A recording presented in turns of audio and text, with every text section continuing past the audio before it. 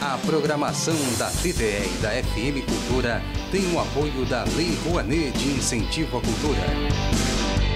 Lei de Incentivo à Cultura. Ministério da Cultura. Governo Federal.